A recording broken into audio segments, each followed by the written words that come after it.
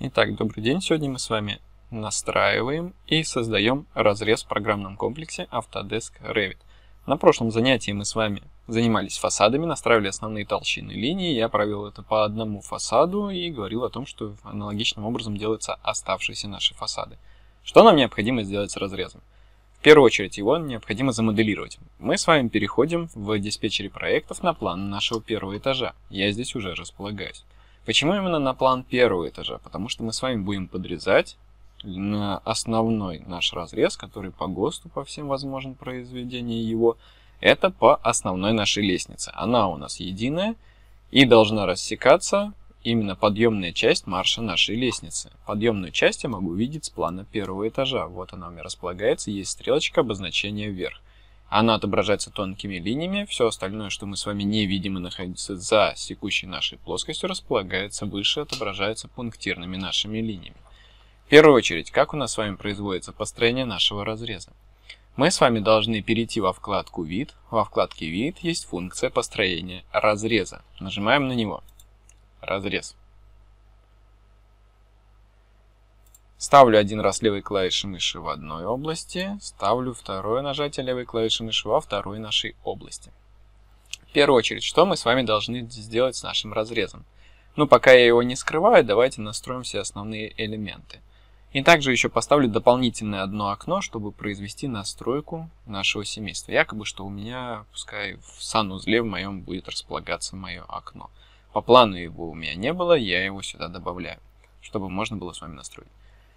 После добавления нашего разреза у нас с вами появляется вот такая пунктирная линия синяя, которая показывает контур отображения в плоскости, то есть что у нас будет нас видно при открытии того же самого разреза. Сам разрез у нас с вами уже появился в диспетчере проектов разрезы.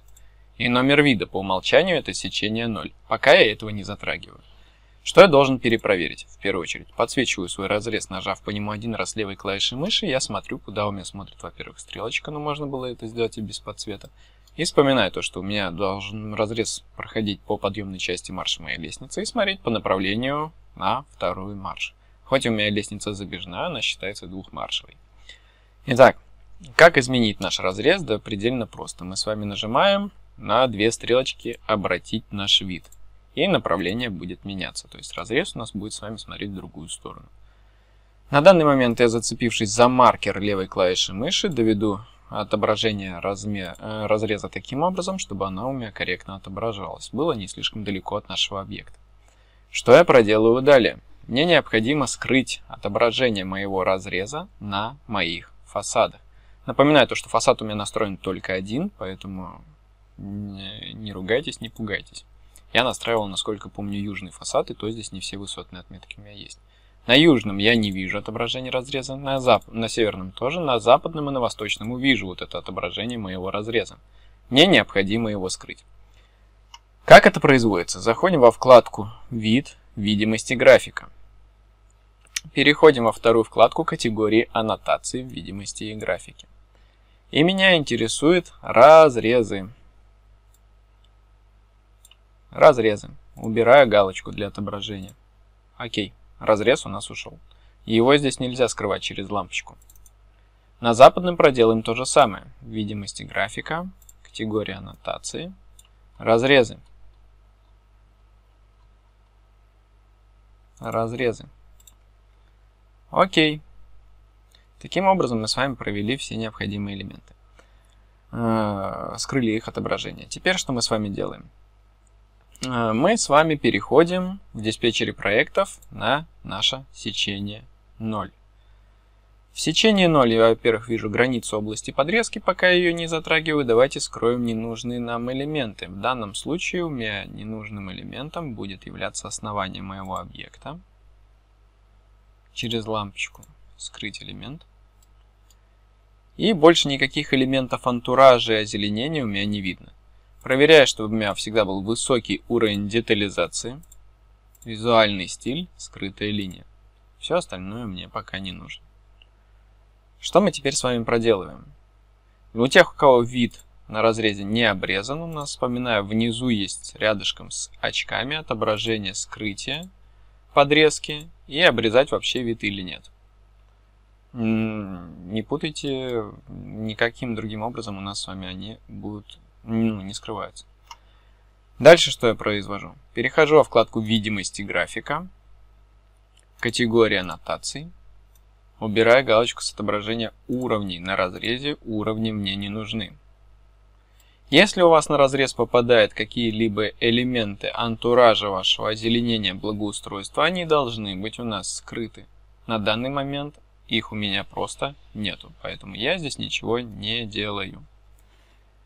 Иду дальше, к настройкам наших толщин линии, а потом буду настраивать все необходимые штриховки. Ну и также буду настраивать наши оси. Итак, э, все элементы, которые режутся у меня, должны быть отображены толстыми линиями, поэтому они должны настраиваться аналогичным образом с фасадами. Только в случае фасадов, если мы с вами настраивали линии для проекции поверхности, в данном случае мы будем настраивать линии для разреза. Итак, давайте посмотрим, что нам необходимо сделать. Перехожу во вкладку «Видимости графика», вкладка «Вид».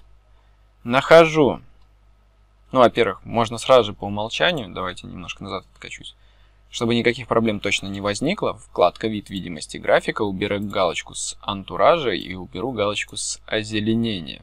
Точно так же, как и проделали мы с вами на фасадах. Скорее всего, у вас какие-то деревья там есть. Теперь будем настраивать толщины линий. Итак, видимость и графика. Видимость и графика. Нахожу стены. Стены. Стены мне нужно, чтобы у меня неразрезаемые элементы наших стен отображались тонкими линиями, а разрезаемые толстыми. Тонкие линии у нас на разрезе будут для всех неразрезающихся наших элементов. Итак, стены. Переопределить видимости графику линия, проекция, поверхность, марка 2. Сечение, линия наша. Это у нас то, что касается нашего разреза, вот эта линия сечения ставлю марку пятую. Она должна отображаться у нас толстыми нашими линиями. Дальше что я делаю? Нахожу перекрытие. Перекрытие. В данном случае проекция поверхности нашего перекрытия неразрезаемой части тоже марка 2. А что это будет за линия? Это линии у нас с вами будут проемы перекрытия под нашу лестницу. Мы с вами увидим наше перекрытие. Для сечения также марка 5. Дальше что мы с вами делаем? Крыши. Для проекции поверхности марка 2. Для сечения марка 5. Дальше что мы с вами делаем? Лестница. Нахожу лестницы. Марка 2 для поверхности, для неразрезаемой части и для разрезаемой марка 5. Дальше что я делаю? Настраиваю толщину наших окон и дверей. Нахожу окна. Окна.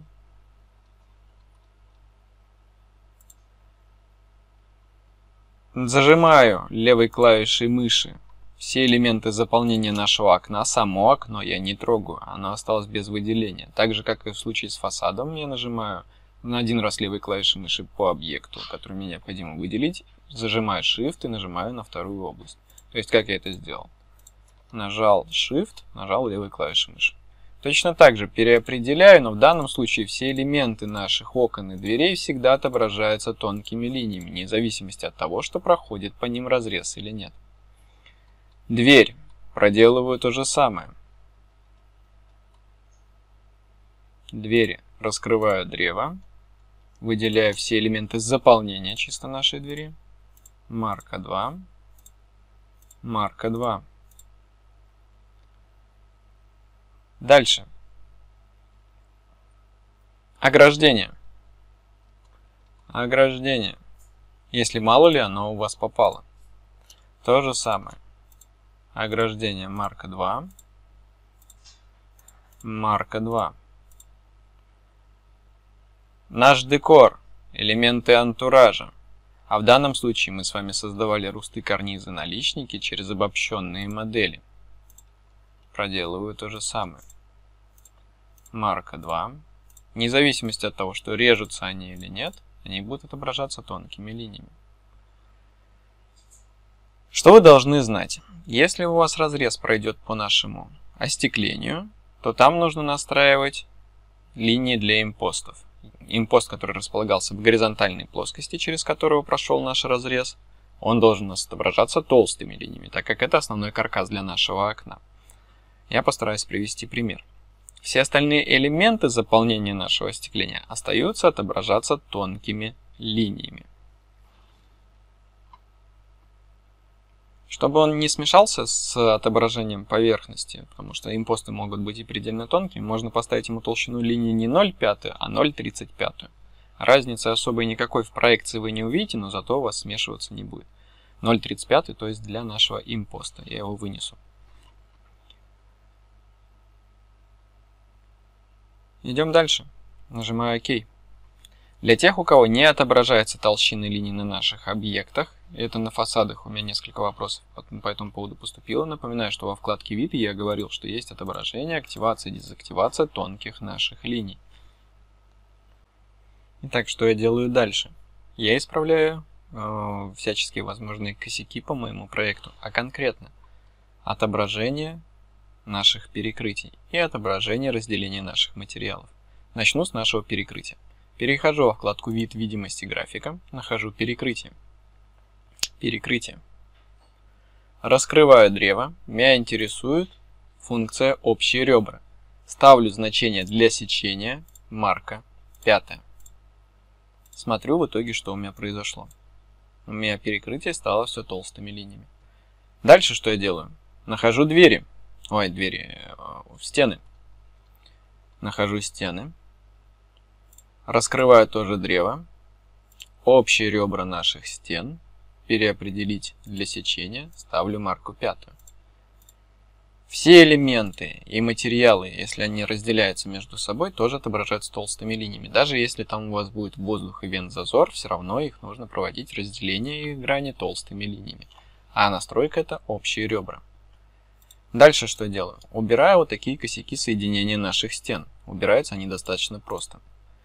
Либо подсветить любой элемент, либо перейти во вкладку «Изменить», и нас интересует соединение элементов геометрии. Нажимаю на верхнюю стоящую стенку, нажимаю на ниже стоящую стенку. У меня ушла линия разделения наших стен. В данном случае ее просто нет. Что я делаю далее? Э, мне сейчас необходимо с вами настроить, если у вас э, у стен есть сразу же памятка небольшая, небольшой вент-зазор, и вы там используете линию, опять же, 0,5, сейчас вернусь назад, вкладка «Вид», видимости графика, стены, стены.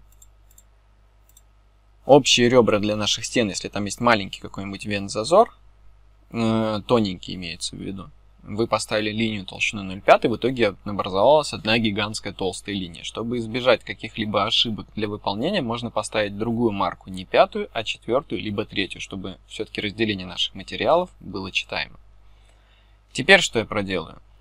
А, добавлю в свой проект диспетчере, на план первого этажа вернусь, на плане первого этажа скопирую любое окно. Придираться я к размерам сейчас не буду нашего окна, Просто его поставлю, чтобы у меня разрез прошел по нашему окну, чтобы показать, как настраиваются элементы, в данном случае окон. Двери будут настраиваться аналогичным образом. Смещу эту дверь назад, чтобы разрез прошел тоже по двери. Чтобы мы с вами проделали сейчас настройку и для двери, и для нашего окна. Вот у меня окно, вот у меня дверь. Давайте начнем постепенно редактирование. Подсвечу мое семейство, нажму сверху, это в данном случае с окном. Нажму «Редактировать семейство».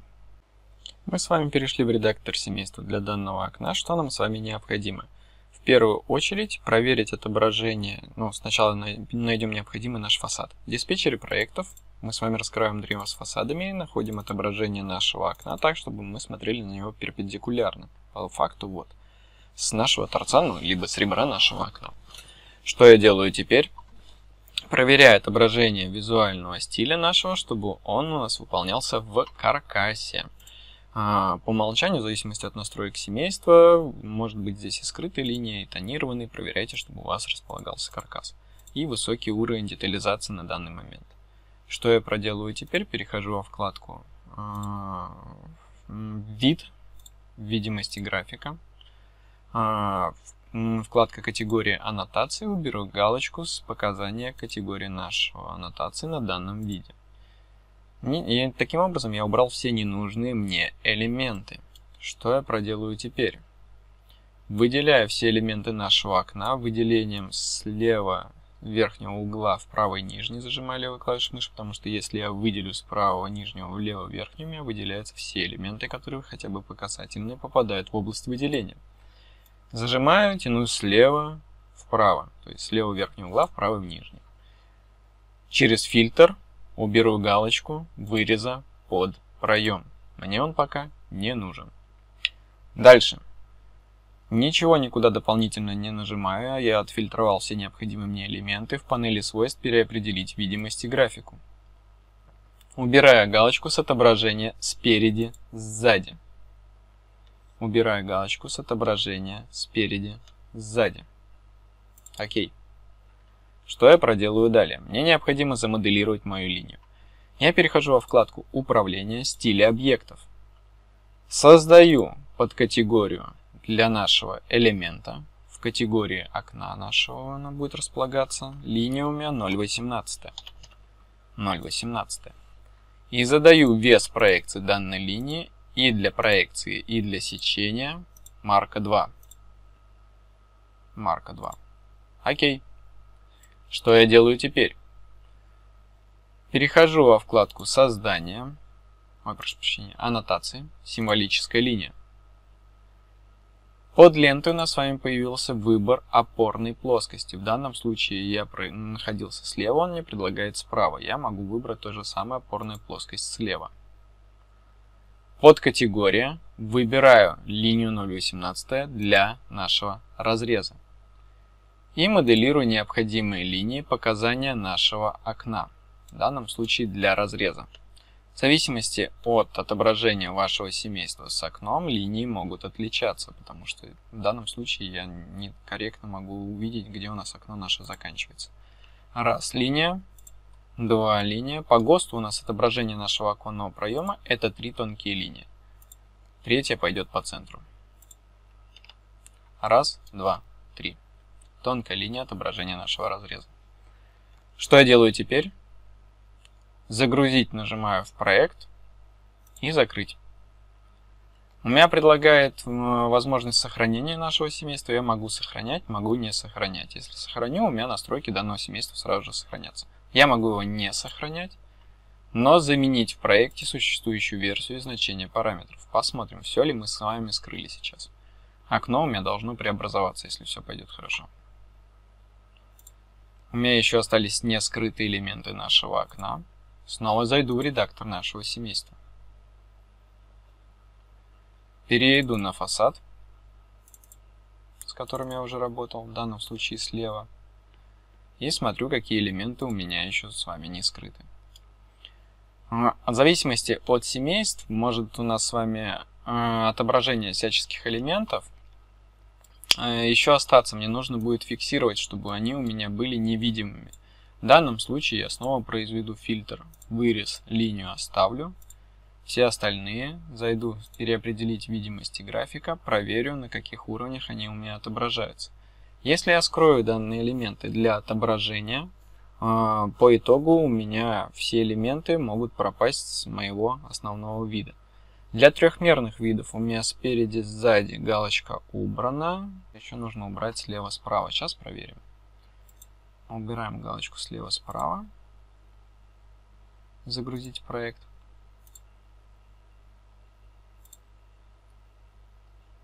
Данное семейство это нестандартное, насколько я помню, я использовал, поэтому с окнами и дверьми нужно будет еще поработать. Еще у меня осталось отображение, часть линии скрылась, часть все еще у меня осталась. Зайду в редактор семейства снова. И снова постараюсь найти те линии, которые все еще у меня отображаются. Возможно, мне придется их вручную находить. И, скорее всего, придется именно делать так. Переопределить видимость и графику. Да, у меня есть элементы, которые у меня не вскрылись для отображения, поэтому я их вручную буду выделять. использовать временное скрытие и изоляция и нажимать все, что мне необходимо. В данном случае это каждый из них в отдельности переопределять, проверять, чтобы у меня галочка спереди, сзади отсутствовала. Вроде бы как все. Закрыть и загрузить проект. Сейчас посмотрим.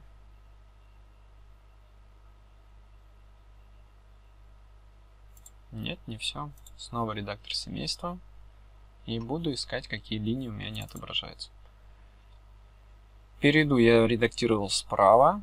А слева я отредактирую справа. Управление. Аннотация, точнее. Аннотация. Вид. Видимости графика. Категория аннотации. Уберу все ненужные линии. Выделю все, что мне необходимо. Тоже скрою. Оставлю без фильтра каркас мой. Здесь галочка убрана. Но, опять же, вручную перепроверяю. Клавишей Tab нахожу элементы, которые могут быть скрыты один под другим располагаться. Переопределить. Здесь галочка убрана. Мне необходимо, чтобы элементы, которые у меня не должны отображаться, были выполнены серым фоном. И мне придется так поискать.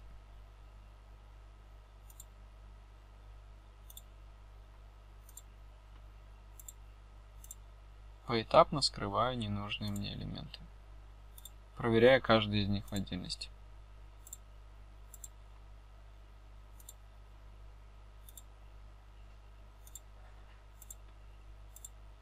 Если я просто скрою элемент, он у меня может не отображаться на трехмерной нашей проекции, поэтому мне придется немножко поперепроверять вручную все элементы.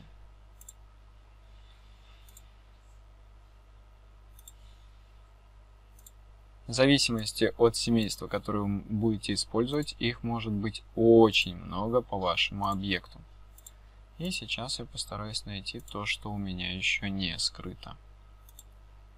Все проверяю через переопределение видимости и графику. Так, с этой стороны я уже все проверил. Иду на фасад слева. Проверяю в данном случае здесь. Снова проверю параметры видимости. Слева, справа, спереди, сзади. Слева, справа. Я почему-то спереди, сзади убирал. А мне нужно слева, справа. Скрыть элемент.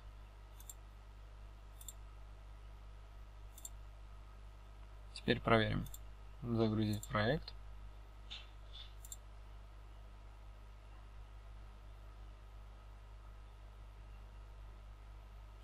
Итак, у нас окно отображается по ГОСТу. Проверю, чтобы на трехмерном виде, но у меня все еще осталось нормально, его проекция. А, перематывать тот участок я не буду, все равно так или иначе вы можете столкнуться с такой проблемой. Так, все заполнения окна у меня на месте, окно у меня целое. На плане этажа окно у меня целое. На сечении у меня окно отображается нормально. Значит, я все сделал верно. Дальше что мы с вами сделаем? Проделаем аналогичным образом то же самое с нашей дверью. Подсвечу любой дверной наш, ну, любую нашу дверь. Редактировать семейство. В редакторе семейства с нашей дверью я снова найду необходимый мне фасад. Вот он. Снова, во-первых, сначала во вкладка «Вид», видимости графика. В данном случае, чтобы мне не запутаться, я скрою только опорные плоскости. Здесь у меня нету никаких элементов, которые мне помешают отображению. Скрыл опорные плоскости.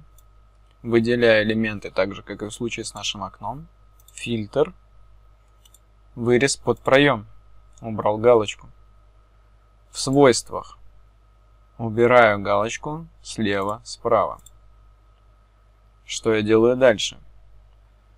Мне необходимо построить во вкладке управления снова в стиле объектов создать тоже линию 0.18. Здесь она у меня еще отсутствует.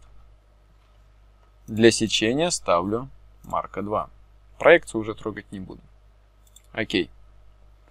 Что я делаю дальше? В аннотациях символическая линия мне необходимо выбрать опорную плоскость. И опять же откатываюсь к окну. Возможно, у вас не было выбора рабочей плоскости. В случае нашего окна, как ее задать, покажу на примере нашей двери.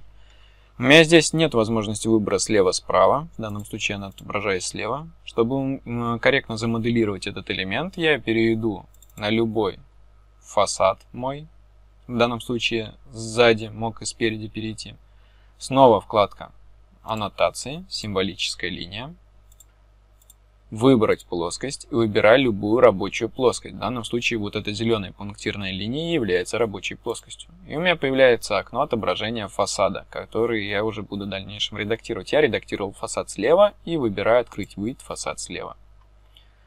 В подкатегориях нашей двери выбираю линию 0,18 для разреза. Провожу линию по центру. И провожу линию по границам моей стены. 0,18. Раз. И 0,18. 2.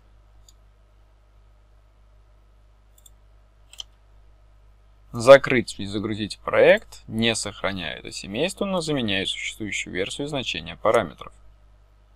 Я вижу то, что дверь у меня теперь тоже отображается по ГОСТу. Три линии. Следующее. Штриховки. На разрезе у нас с вами опять ограждение убежало. Сейчас его отредактирую немножко.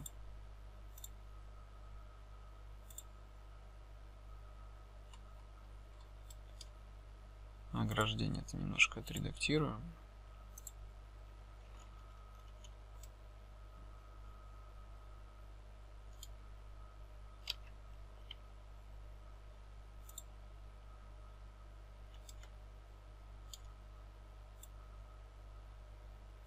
Скрою ненужные мне элементы.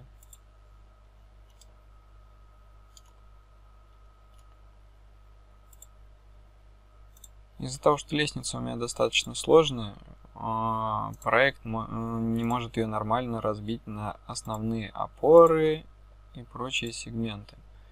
Я мог ее сдвинуть, чтобы у меня она корректно отобразилась, но в данном случае я ее просто разбил на дополнительные сегменты. Итак, возвращаясь на наш разрез. Штриховки. У меня с вами должно отображение быть штриховок только разрезаемых наших элементов, то есть штриховки материалов. Штриховки поверхности быть не должно, поэтому мы с вами будем убирать всяческие штриховки. В данном случае мне нужно будет еще и штриховку дерева на поверхности убрать. Итак, перехожу во вкладку «Вид», «Видимость и графика». Найду по порядку. А, мы с вами, если у нас есть отображение штриховки нашей поверхности крыши, то тоже убираем. В данном случае нахожу крыши. Древо можно было не раскрывать. Штриховка. Переопределить видимость и графику. Выбираю галочку с видимых. Стены. Переопределить штриховка поверхности. Убираю галочку с видимых. Дальше. Если у вас есть штриховка на наших колоннах, то тоже вы убираете ее. Дальше что мы с вами делаем? Двери. Двери. Находим двери.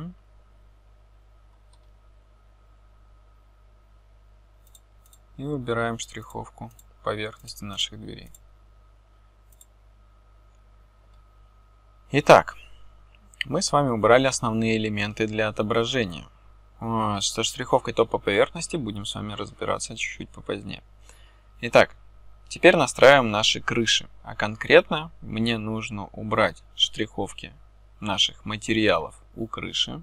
На разрезах они не отображаются, поэтому мы штриховки материалов будем с вами убирать, а также не должны видеть разрезаемую часть наших материалов.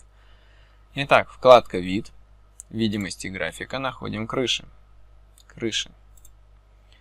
Мне нужно убрать штриховку сечения у наших крыш, а также раскрою древо, уберу галочку с наших общих ребер.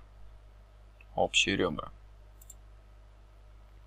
Мне не нужно видеть никакие элементы на нашем отображении. Дальше что мы с вами делаем? Если у вас крыша холодная, чердачная, мы ее оставляем так, как она есть. Если у вас крыша теплая мансардная, мне нужно произвести изоляцию для наших элементов, штриховка изоляции. Это унифицированное отображение тех же самых материалов. Я перехожу во вкладку «Аннотации», «Изоляция». Изоляция. Ширину в данном случае вы будете подбирать собственноручно. Я попробую подобрать наугад 250. И я попал точно в какую мне нужно. Закрываем отображением изоляции наши крыши, в данном случае теплые.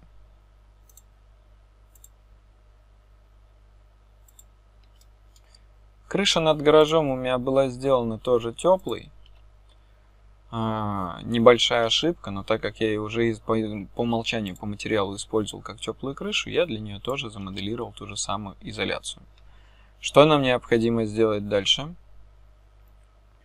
А, настроить все необходимые элементы для нашей, для показания нашей изоляции. Итак, проверяем. Но ширину вы настраиваете собственноручно. Отношение выпуклости нашей 3 мм. Оставляем так, как оно есть. У меня в данном случае 3. Можно было сделать и немножко пошире. Дальше правой кнопкой мыши по нашей изоляции переопределить видимость и графику для категории данного элемента. И ставим вес, э, вес линии марки 2 для всей категории. Окей. Чтобы они у нас немножко утолщились. Что я проделаю далее? Оси и название чертежа. Но само название чертежа я мог скопировать с фасадов. Давайте сначала разберемся с осями. На разрезе у нас с вами отображаются только те оси, которые остаются для разрезаемых основных несущих стен. И внутренних, и внешних. В данном случае у меня стена несущая была, но она у меня располагается далее. И ось 2 формально мне даже не нужна. Через нее не проходит наш разрез. По этой стенке разрез прошел, ось остается. Я вижу ее, она отображается толстыми линиями. Ось четвертая мне нужна, ось первая мне нужна. Проделаем то же самое, что с вами делали с фасадами отображение кружочков наших ставлю снизу.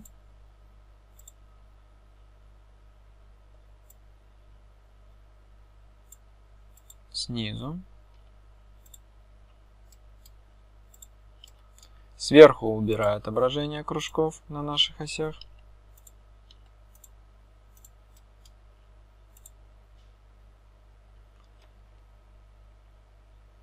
И что я делаю так же, как и в случае с нашими фасадами. Подсвечиваю необходимую ось, нажимаю с, 2D, с 3D перевожу в 2D и опускаю ту же самую ось. Снова подсвечиваю. Обязательно не забывайте нажимать перевод из, дву, из трехмерного вида в двухмерный. Иначе, если вы проделаете без нажатия перевода, у вас оси просто пропадут с отображения наших планов. В данном случае пропали бы с плана второго этажа. Дальше. Размеры. Ставлю параллельный размер. Между каждой осью, которая отображается на разрезе, и между крайними нашими осями. Название нашего чертежа.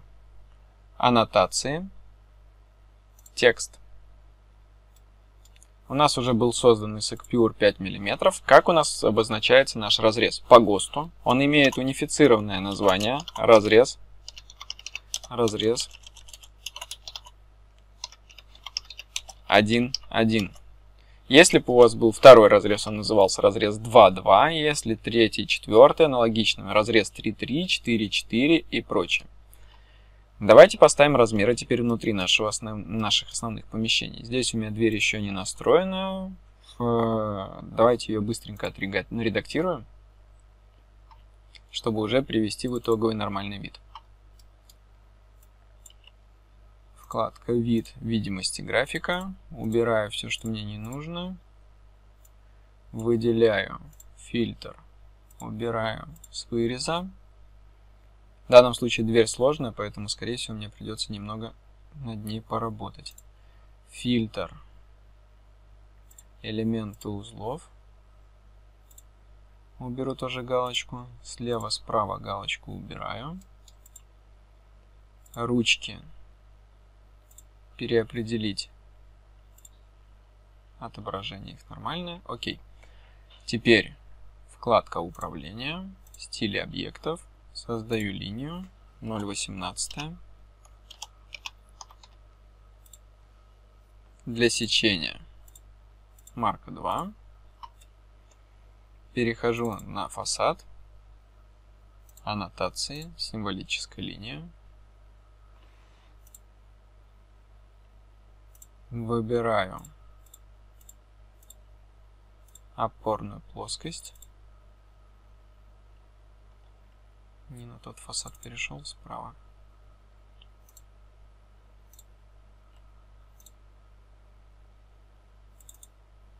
Редактировал справа. Вид. Символическая линия.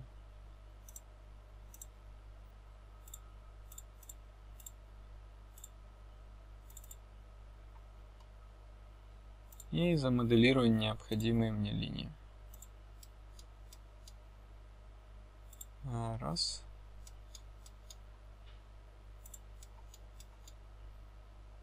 Два.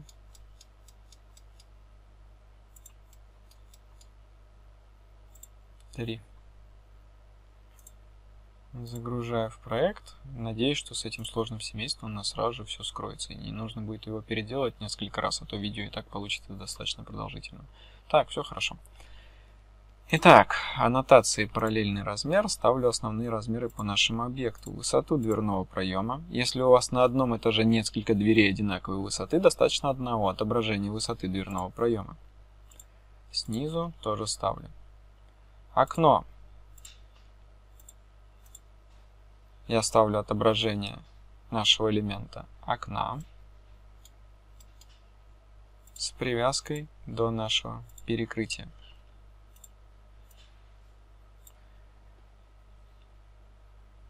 Мне нужно будет настроить выноску наших основных элементов. Сейчас мы это с вами сделаем. Давайте расставим сначала основные размеры. Размер толщина плиты перекрытия. и до самой верхней точки находится она, перебирая клавиши Tab.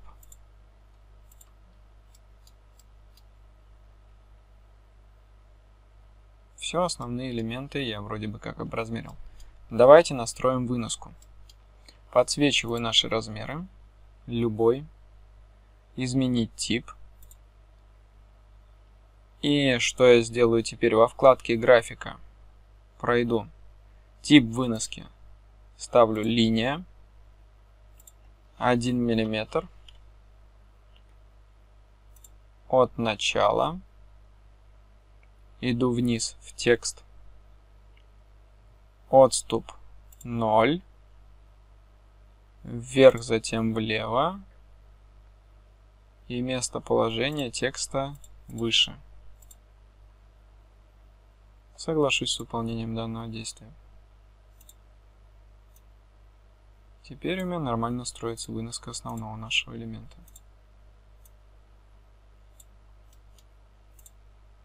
Напоминаю о том, что размеры не нужно оставлять в основном каркасе нашего объекта, поэтому мы с вами их выносим. На архитектурные элементы они могут накладываться, но все остальное мы с вами не трогаем. Итак, идем дальше. Высотные отметки. Высотные отметки будем ставить всех основных элементов, которые у нас с вами идут под наш разрез. Высотная отметка, она у нас уже настроена, наша основная. В первую очередь я буду ставить высотные отметки внутри нашего объекта, если это возможно сделать. Если нет, мне нужно воспользоваться тем же самым вспомогательным построением, что и было с фасадов. Сначала сделать вспомогательную линию и потом выносить. Поставлю на данный момент одну высотную отметку в данном случае наверху. Я вспомогательные высотные линии для высотных отметок добавлять здесь не буду. Аналогично я все это рассказывал на фасадах, поэтому я думаю, что никаких проблем у нас с вами не возникнет. Теперь у нас с вами линия земли, а также штриховка поверхности нашей земли. На самом деле она должна была убираться у нас на фасадах, но для тех, кто еще этого не сделал, давайте проведу вместе с вами.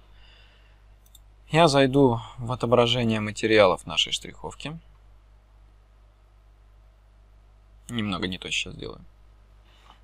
Но проделаю это другим образом. Во вкладку «Управление», «Материалы» нахожу «Землю», «Земля»,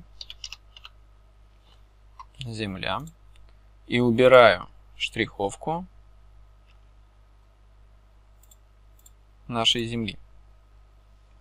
Дальше что сделать? Толщина линии Земли у нас уже с вами была настроена на наших фасадах. Теперь что я проведу?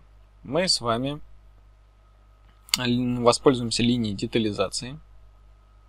Аннотация. Линия детализации. Сохранять проект пока я не буду.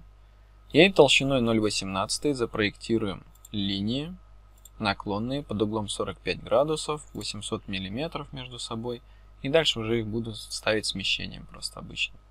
А смещение мне не получится, скопирую. Скопирую с одинаковым шагом между собой. Пускай будет 300 миллиметров.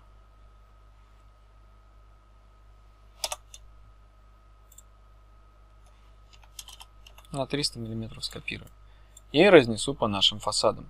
Угол наклона всегда остается один... Ой, по фасадам, по разрезу. Шаг у нее должен быть одинаковый. Но здесь проблем, я думаю, что у вас не возникнет.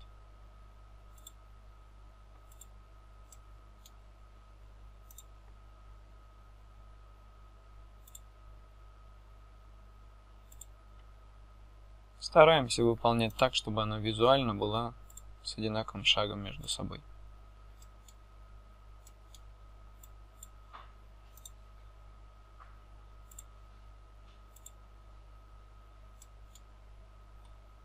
И с другой стороны проделаю то же самое.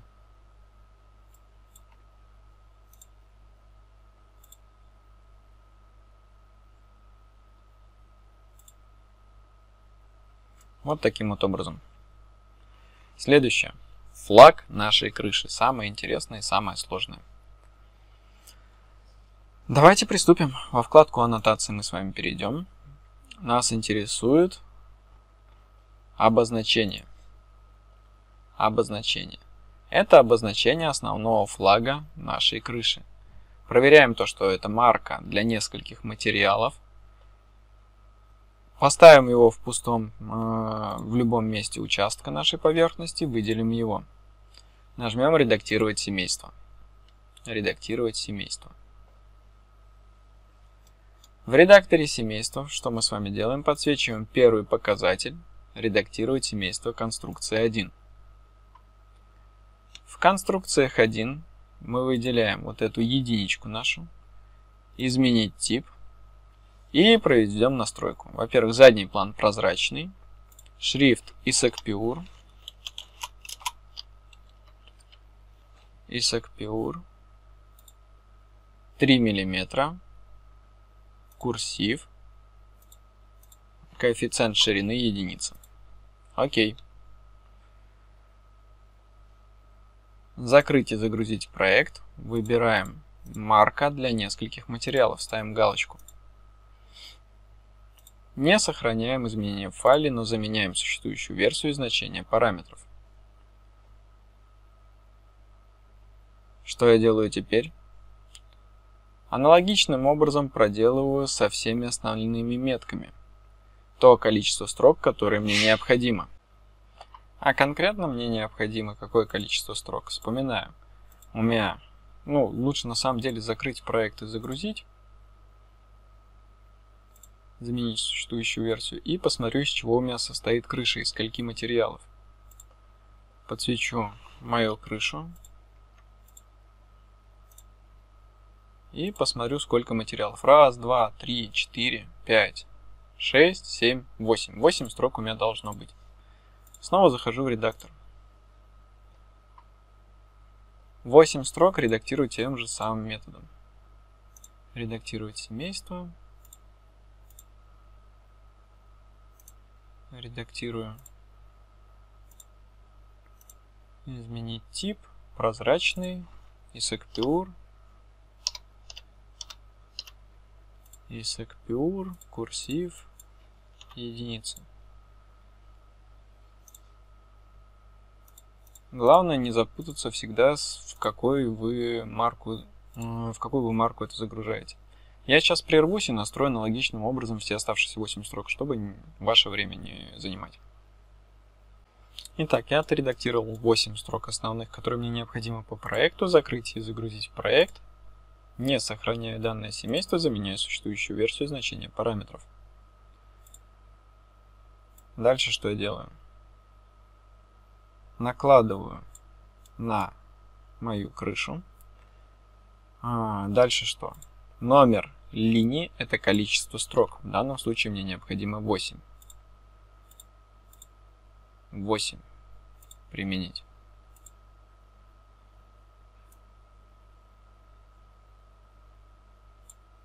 Применить. И заполняю металлочерепица.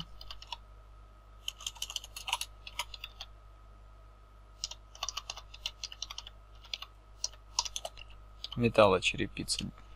Прошу прощения, раскладка.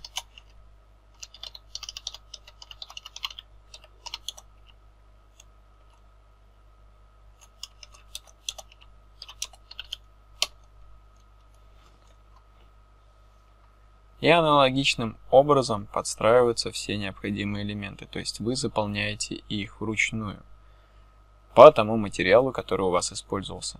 Достаточно длинный у меня флаг крыши получился, давайте отредактируем длину наших строк. Во-первых, длина строки, пускай будет в данном случае, скорее всего, 150 миллиметров мне потребуется. Ширина немножко пошире ее сделаем.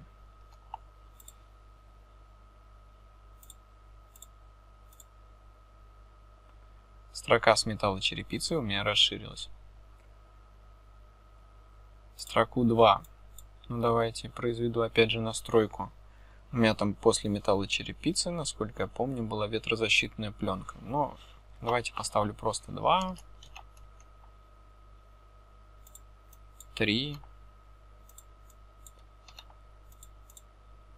4. Все меняется вручную. И аналогичным образом у вас заполняется.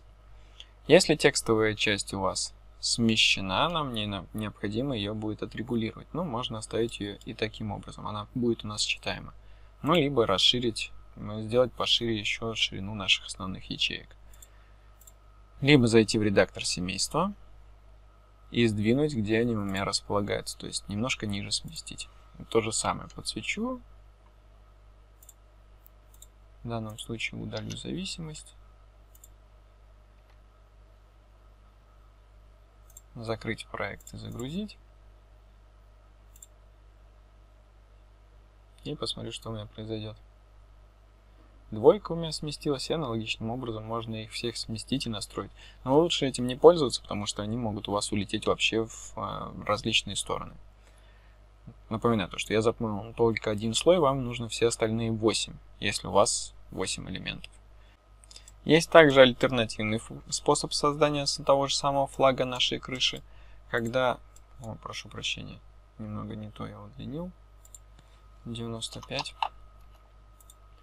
У нас с вами удлиняется эта линия, которую нам с вами не нужно трогать, она остается такая, какая есть по умолчанию. Последнее, что мне с вами необходимо сделать, это в первую очередь запроектировать толстую линию для нашей стрелочки, аннотации, линия толщины 0,5,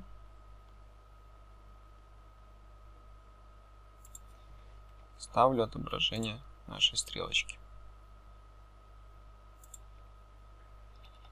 Выделяю флаг правой кнопкой мыши переопределить видимости графику на виде для элемента и вес поставить марки 2. Аналогичный метод есть при настройке того же самого флага крыши, когда вы просто текстом будете отображать необходимые элементы, то есть вручную его расчертить. А длину также можно эту настроить. Вот предположим, то, что я сделал изначально неправильно, пускай у меня не 95 будет, а 60 те же самые миллиметров. И смещаю его просто визуально вниз. Здесь стрелочка у меня разной длины получилась. Вот таким вот образом. Чтобы мне глаза не, смути, не смущало, я скрою отображение границы моей подрезки. Таким образом у нас с вами настраивается разрез по нашему объекту. А, все основные элементы у нас с вами уже вынесены и отображены. А, еще что необходимо перепроверять, чтобы ступени нашей лестницы разрезались и отображение их было толстыми линиями. А, у двери, как скрывается раскос открывания дверного проема, его необходимо скрыть. Я уже показывал в наших фасадах. Но я думаю, что ничего сложного в этом нет. Последнее, что я сделаю в разрезах, переименую разрез 1.1, чтобы он сразу же отображался у нас с вами по ГОСТу. Вроде бы как и все. Всем спасибо, что были тут. Знаете, что нужно делать. Скоро увидимся.